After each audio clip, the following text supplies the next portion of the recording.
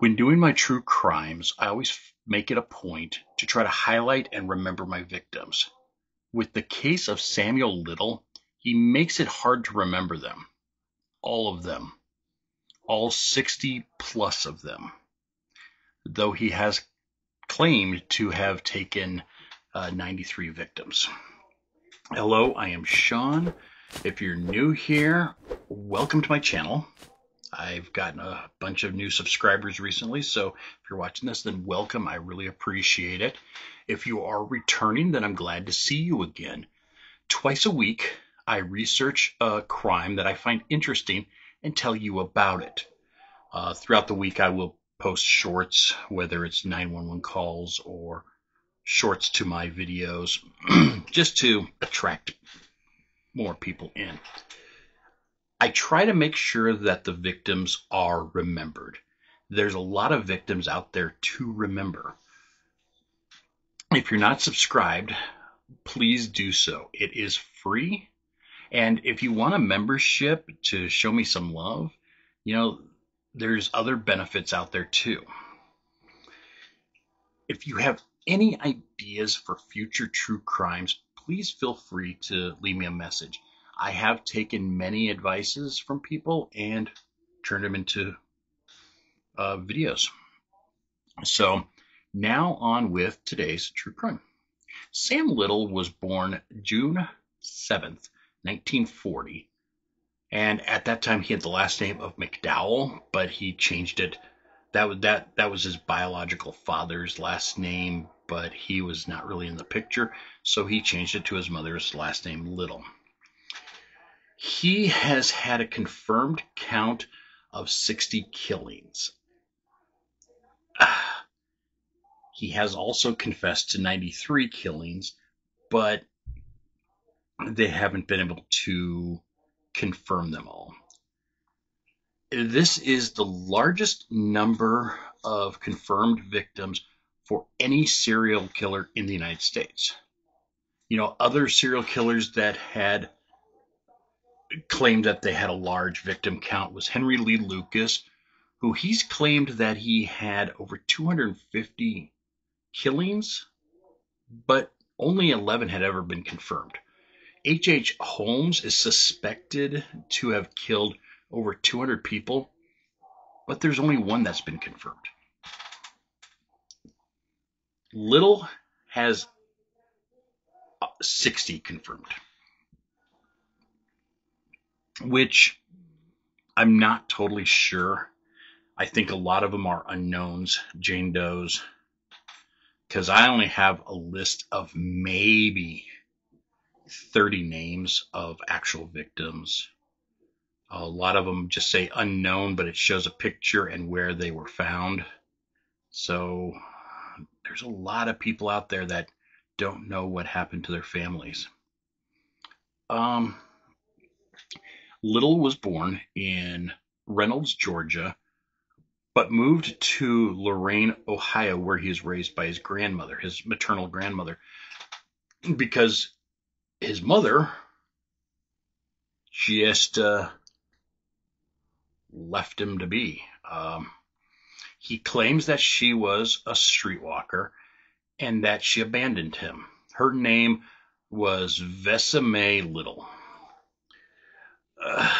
Some say that she gave birth to him in jail. Others say that she was actually a maid.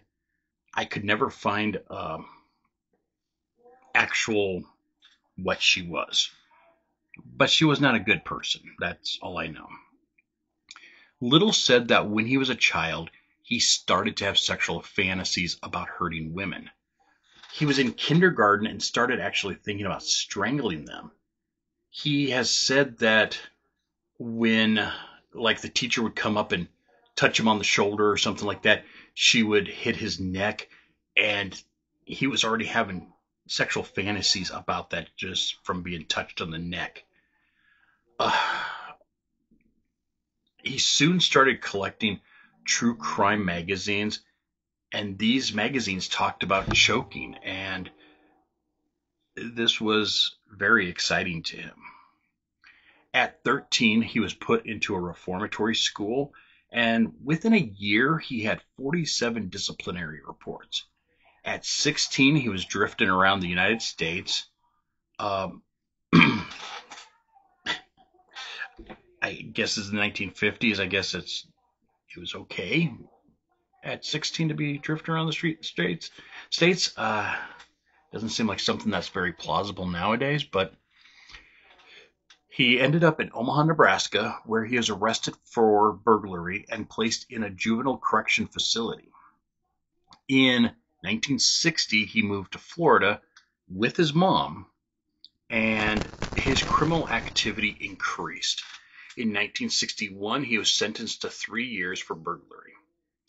By 1975, he had been arrested 26 times for crimes like DUI, fraud, shoplifting, solicitation, armed robbery, aggravated assault, and the R word. Here is a collection of mugshots ranging from 1966 all the way up to 1995. He saw the inside of many jails. In 1982, he was arrested in Pascagoula, Mississippi. I hope I said that right. For the murder of a 22 year old Melinda Rose LaPree. But a grand jury refused to indict him for the murder. And they didn't go into detail in my findings of why they wouldn't indict him, but they just refused to indict him for it. But while they were investigating, he was extradited to Florida to be tried for the murder of a 26 year old Patricia Ann Mount. Witnessed, witnesses, excuse me, witnesses ID'd Little, stating that he was with Patricia Ann the night that she, or the night before she disappeared. They were at a bar, all hot and heavy, and people saw him with her. The jury did not trust these witnesses, and Little was acquitted of the Florida murder in uh, January of 1984. So here he just slipped through two different murders and was free. You know, having enough of the East Coast, Little decided to move to California, San Diego to be exact. But this was not the end of his troubles. He was arrested again in October 1984. This time was for kidnapping, beating, and strangling 22 year old Laurie Barros. She survived. A month after his arrest, he was found in the backseat of a car with an unconscious woman. He must have been out on bond or something. I'm I'm not sure. They don't say how he was out, so I'm assuming Bond. The woman in the car had been beaten severely and strangled. They were also found in the same location where he attempted to kill Barros. So for both these crimes, he only served two and a half years in prison. Yeah, that, that's just ridiculous. Two and a half years in prison. He was released February of 1987 when he moved to LA and committed more murders. He was finally arrested on September 5th, 2012 in Louisville, Kentucky. He was extradited to California for narco- narcotic charges. But using DNA testing, they found that he was involved in the murders of Linda Alford from July 13, 1987. Guadalupe Apodaca, Apodaca, I hope I said that right, from September 3rd, 1987. And Audrey Everett, killed August 14th, 1989. They were all killed in Los Angeles. He was finally charged on January thir- uh, sorry, January 7th of 2013, he was tried for the murder of Alford Nelson and Apodaca The prosecution used witnesses of people that he had attacked throughout his criminal history. The ones that lived, anyway. Um, he was found guilty on September 25th, 2014, and sentenced to life in prison without parole. This is where all the stuff starts getting so condensed and confusing. And if I miss something, I am so sorry. There was a lot of data there. When he was when he was sentenced and sent to uh, prison, at this time, Little still claimed to be innocent, but on November 9th, 2018, he started to confess. The first person he confessed about was the 1996 death, death of Melissa Thomas, and on November 13th, he was charged with the murder of Denise Christie Brothers of Texas in 1994. During his confessions, he confessed to other killings. Fredonia Smith, Dorothy Richards, Daisy McGuire, and then he confessed to Julia Critchfield, Nancy Carol Stevens, Evelyn Weston, and Rosie Hill. Also in December of 2018, he was indicted on the death of Martha Cunningham and Linda Sue Bonds. He pled guilty of the murder and was given another life sentence. On the same day, he then confessed to dozens of other murders in Texas. He claimed to have killed like I said, 93 women across 14 states. His murder spree lasted from 1970 all the way up to 2005. Little had kind of like a photographic memory, and he drew many of these women that he killed. He didn't always know their names, but he remembered what their faces looked like. That's how they confirmed at least 60 of the victims. Now, out of the 60 victims, like I said before, many of them were jo- Jane Doe's, and no one knows their names. So it makes it really difficult for me since I always want to make it a point to remember the victims. With all this multitude of victims,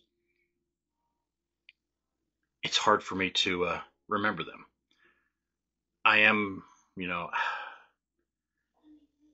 showing lots of pictures,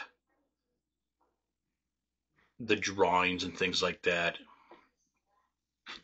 That's the best I can do.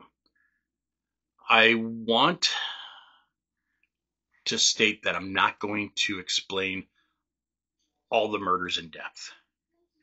You know, it was pretty much the same with each of them. He beat them, he strangled him, strangled them, and he R worded them. Um, some more severely than others. But I, I don't want to do that, and uh, YouTube doesn't want me to do that. So I have to, I guess, uh, be cautious. Now, I could not find pictures of all the victims either. I did my best searching their names, and I could not find all of them. The best I can do, though, is list the victims' names that I do know. Like I said, there's so many Jane Does. And yeah, that just makes it really confusing. But some of his actual victims were Annie Lee Stewart, 32, Mary Jo Peyton, 21, Zena Marie Jones, 30, Rose Everett, 32. Thought to be his first victim is Mary Jo Bro- Brosley, 33, Sarah Brown with an unknown name or unknown age, Yvonne Pleece, who was around 20, Clara Birdlong, who was around 40, Patricia Parker, who was 25, Melinda LaPree, who was 22, Linda Bennett, 25, Frances Campbell, 23, Yolanda Jones, 26, and Roberta uh, Tanrich, who has an unknown name. I'm also including this video. It's basically from the FBI uh, VICAP website. These are drawings of a lot of his unknown victims. If you recognize any of them, contact your local law enforcement or to the FBI. Uh, these women deserve a name. They deserve closure. There's family out there that know who they are and are missing them. And they never knew whatever actually happened to their daughter, their mother, their sister. It's a sad situation and they need to be laid to rest. They need to be remembered. Also, on that FBI VICAP website, there's a ton of video confessions from Little talking about different victims. You can find it on there. And I'm just showing a part of a video uh, where he murdered, or he talks about murdering a transgender female, and he can't remember if it's 1971 or 1972, and this was in Miami, Florida. So.